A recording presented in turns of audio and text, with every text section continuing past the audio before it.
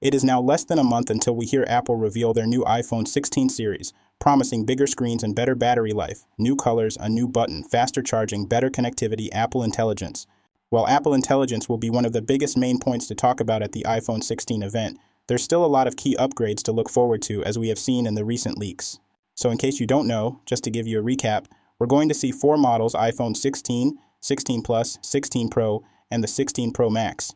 Earlier this year, we've seen Apple experimenting with a lot of new designs for the iPhone 16 Pro series, but turns out it's going to have the same kind of look as the previous iPhone generations, with a big visual change being the new desert titanium color, along with record-breaking, the thinnest smartphone bezels ever up front with the dynamic island. Now there has been a major report coming out revealing some of the new iPhone 16 series camera features. The 16 Pro and the Pro Max are indeed getting the new significantly improved ultra-wide angle lens at 48 megapixel resolution. Not just that, unlike other smartphone brands with high megapixel ultra-wide angle sensor, Apple will likely allow users to shoot 24 megapixel default ultra-wide angle photos just like the main sensor, meaning just like the main sensor at default setting where most people shoot photos, Apple could beat all the competition. 16 Pro as well as 16 Pro Max will now be able to record 3K videos with 120 frames per second using Dolby Vision.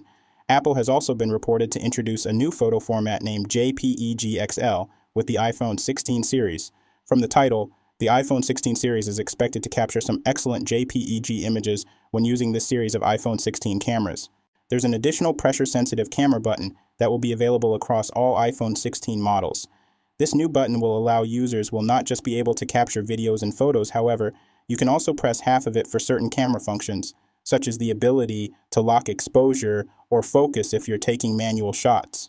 This capture button will be open to third-party apps and developers, so you're going to see this being used and integrated in social media apps in pretty much no time.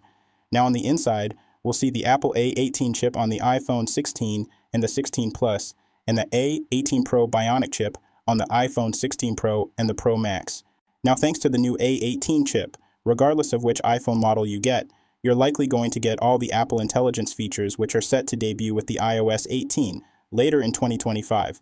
Of course, the first set of Apple Intelligence features will get the rollout in October, with major features coming throughout the next year. And lastly, except the iPhone 16 Plus, all the iPhone 16 models are getting the biggest battery upgrade that they have ever gotten compared to previous generations. With the iPhone 16 Pro Max having the biggest battery size, this could very well be the best battery performing phone on the market, combined with the new efficiency of the second gen 3 nanometer Apple A18 Pro chip. So there we go, 9th September it is. iPhone 16 series officially getting announced. And that is pretty much what we know so far. What do you think? Are you going to be tempted to upgrade or are you going to give it a miss this year? Let me know what you make of the new 16 series.